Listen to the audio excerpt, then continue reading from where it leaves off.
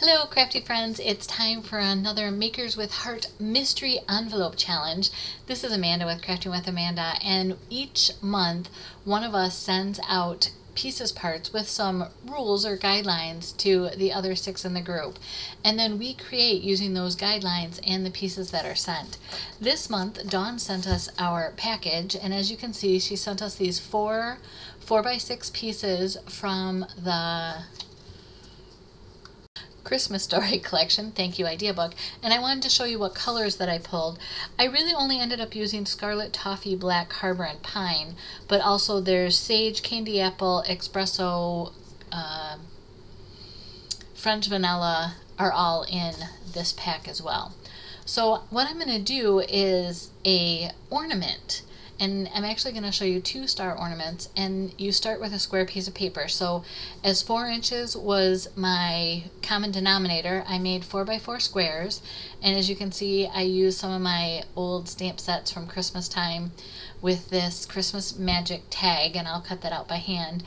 And then I took the pine and the scarlet ink and I'm putting the scarlet ink on the pine cones from this old stamp set and that stamp set is Yuletide Carol and like I said so I'm putting scarlet just on the pine cones that are in the center of these pine boughs and then I'm kind of rocking and rolling it into the pine ink which makes those outsides green. So I have the pine cones are kind of a reddish brown where both colors are on it and then with the green pine needles all around the pine cones. And this is just kind of a random stamping technique. Um, I had gotten too much of the scarlet on my stamp. I didn't want it to be that much brown on it when you combine the two colors. You get a nice rich brown. And here I wanted to show you one of the tricks that I use is I use a permanent marker and I write the name of the ink pad on the lid because if you have all of these ink pads out and about you might end up putting the wrong lid on the wrong base and I don't like to do that so like you can see here on my pine ink pad I have the lid already marked. And what I did is I took the smaller pine bough from that same stamp set and just inked it up in the pine ink. And now I'm going to take Harbor, and this is from the Four Seasons or Seasonal Haul stamp set and thin cut. You can kind of see it there on the right hand side. And it's just a package of gifts that go into the back of the pickup truck. But I'm using them on my random stamped piece of paper here. Because I didn't get to tell you, for Dawn, her rules were that we could add white daisy black or any French vanilla as much as we wanted, but she wanted us to create a background paper using one of the cardstocks that she sent um, at, with any stamp set that we chose. And then she wanted us that we could use any stamped images or sentiments from any stamp sets, and that we could add stickers from the Christmas Story collection, or we could cut images from the digital art from Christmas Story. Now that I have those packages on here, I decided I needed to add some coloring to them. I didn't want it to overpower, I thought about using markers, but like I said, I really didn't want it to overpower the pine and the scarlet boughs in the background. And while I was talking about Dawn's rules, I did take from the Party Girl stamp set that was a special a while ago. It has some background noise with stars in it, and who doesn't like a little pixie dust, especially around Christmas with stars? So with the toffee ink, I stamped that in there as well. And I love doing that with my random stamping. Um, one of the things that I did from the first that I became a close to my heart maker was random stamping and I just fell in love with it and the ladies that we all get together once a month they fell in love with it too. So I'm using my shimmer brushes because it's not as um, heavy of a concentration of color that it has less opacity you can kind of see through it more. So again it just gives it that that lighter feel. And I'm using the pine and then I did use yellow or lemonade. I also used, sapphire and then this is that's sapphire and I also used a red. So I'm just trying to with those four colors color in all of the packages whether it's the wrapping paper itself or the ribbon that's on the wrapping paper and just kind of intermix those. And because that sapphire is a little bit more of an intense color I wanted to be careful to not use too much of it. So here's my trick for folding these. With the right side down, so you're folding the, the inside towards you, I like to use that little rail along the front or the edge of my cutting guide or my, sorry, my Fiskars cutter. Could think of what that was. And by doing that, then when I line up the sides and I go to use my bone folder to make that nice sharp edge, the edges don't move because they're against the lip on this cutter. So now I'm just lining it up between the 0 and the 4 mark and on the 1 inch mark and the 3 inch mark right in the middle on those folded lines I'm marking the edges of the square. And I'll show you this again but then you're going to cut up to that mark that you did. So this is a 4x4 square and I marked 1 inch on it. You can do these stars any size you want. Um, you cut your line one quarter of the inch of your, or one quarter of the size of your project. So let's say you were to do a 12 inch square because you wanted a super huge star, then you would mark those, you would cut those three inches deep because three is a quarter of 12. So here you can see how I'm using that ledge on my cutter as kind of my base. I'm going to push everything against it and you fold it in half both ways to get squares and fold it corner to corner. I find folding corner to corner for me is easier before there's other folds in it. It just works nicer. Again, I'm marking my one inch mark around those edges and you cut right up to there. This is all, the hardest part of this I think is the next fold the next fold and then putting the two stars together. But I have some tricks for you for that, so keep watching and I'll help you out here. And they come together quickly, they really do. You could assembly line style these easily. So now you're taking the two sides, as you can see, and you fold them to your corners, kind of like you fold an airplane. So you're just folding it right to that center score line and crisp edges are great. You'll see here how, um, how those work. And this project is very forgiving. I'm not trying, you know, I'm trying to be careful and make it nice, but I'm not getting overly worried about if my all of my folds line up. Like that last fold, the bottom edges didn't line up. This is a very forgiving project and you'll see why here in just a moment after I finish doing all these folds. I will just recap in case you want to write some things down or if you were writing some things down you can get it right. But your ratio for how to cut this is whatever your square is, your slits on the square sides are one quarter of the length. So again, this is a 4 by 4 square, so my cuts are one inch in. And then you fold those one inch cuts kind of down, you open those up and fold them into the corners like you would a paper airplane. And that's this part, and then the gluing the two, you know, four pointed stars together is the hardest part, like I said. And I like to use some either washi tape or some uh, masking tape. I think the um, the masking, like the post-it tape would be a little too lightweight. I think um, it needs to be a little bit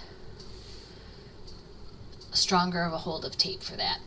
And so you can see here that I'm just kind of dry fitting. So I'm going to put glue on the inside of one of these flaps and then you just fold it over the other flap and that pops up so you have a nice 3D point here and I try to do one side and the opposite side because then I'm moving the adjacent legs of the points a little less. So I did if each one has a number one two three four I do one and three and then I go back and do two and four. And like I said you just slide these over each other and you're good to go. And you can see how this is starting to get your star point formed. I like a wet glue here. I know some people have used wet glue and uh, tape glue because um, the tear and tape allows it to adhere right away. I just take my time and let it have a minute to adhere and hold it. And I was showing you there with the scissors that there is a gap that it does not lay flat. So that's why this is kind of tricky.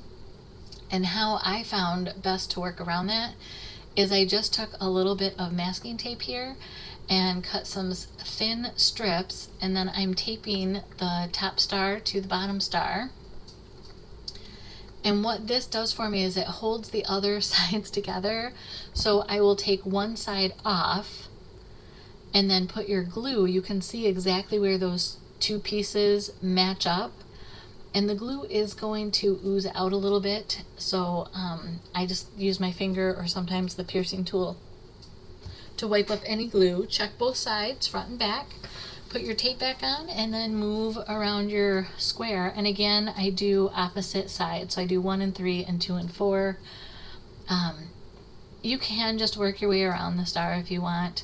Some of it depends upon how fast your glue moves, but when I was doing like one, two, three, four, once you glued one and then you did two, you popped it up, so you're just ungluing one. so for me, this is just what worked. And like I said, this was the most, I don't want to say tricky part, but it took some learning with how to hold my hands, where I wanted to go, what kind of, um, how much pressure to put between my thumb and my fingers as I'm holding these two pieces together. Because you kind of want to have them have some pressure, but not smush the star, if that makes any sense. So there is a learning curve here. Now off camera I went ahead and folded and put together the black Christmas paper and the pine paper, but I wanted to show you what I've done on some of mine is I go ahead and cut triangles on all of my stars. And because I'm not as precise, um, not all of those star points are exact, so I go ahead and use the star point itself as the guide and um, I'll mark the star point that I start on because I've been known to like cut a triangle and then have to go fit it with all the star points again. I mean, there's only four of them, but I just mark number one and then I know this is the one I started with. And once I get one of them on there, it's pretty easy. So now you can see, I'm not going to have you watch all of them, but I just line it up with my fingers on it, make a cut to the back, kind of transfer the hold and then I'll just cut the scissors along this side and glue those all down. And I just continue that for all the star points.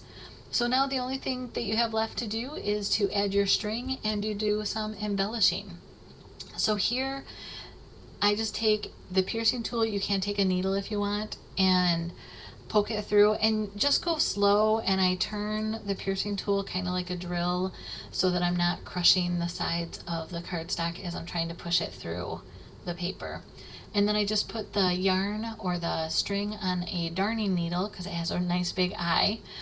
And the way I like to tie these is you put both ends together, loop them around your finger, and put both ends through that loop. And then you can kind of slide that loop up or down for as big or as small as you want. I cut off my extra and then if you carefully just tug this through the one side, then your knot is hidden inside your star. So that tag that I had created from that Yuletide Carol, I fussy cut that off camera and then I'm going to go ahead and use some of the gems that Dawn sent us this month. I will say that I opened this envelope of stuff and read through the guidelines and then I put it back away and then I would get it out and look at it and try to, to figure out what I was going to do. I Because I kept thinking layout. I wanted to do layout because that's where my focus is right now in life. And um, finally, I realized I wanted to do these stars, and I'm so pleased with this project and loved that we had to stamp on it as a guideline. Dawn, thank you for that. So what I did there, this is a cautionary tale of not to put your ticket or your embellishment on your star until you see what's on the back side of it because it would have been a lot easier to stamp that little piece of candy on the back side of that ticket had it not been already adhered to the star. And then Dawn sent us some shimmer brush or shimmer trim and so I cut half inch pieces and then I dovetailed the end and as you can see here I just used my piercing tool to help me sneak it down towards the center of the star and again, I'm going to poke my hole for my thread. And do you see that little fruit fly that's been bothering me in my office? I have no food in here. I don't know why that fruit fly was around, but man, it kept flying around my eyes and crawling across my desk. So you're not seeing things that's here in my world. Again, I'm using the other two gems that Dawn sent us in our goodie basket on the backside of the star that meets our requirements. This was just a fun project for me, and I think you could embellish these as big or as little as you wanted. I think this would be a great project um, to use up stash and stickers. And, and here they are all done. The random stamped with the, the red side of the Christmas story paper and here's with the black and pine.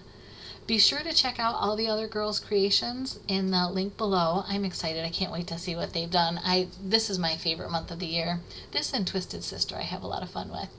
So those are all in the video description. Have a great day. Be a blessing.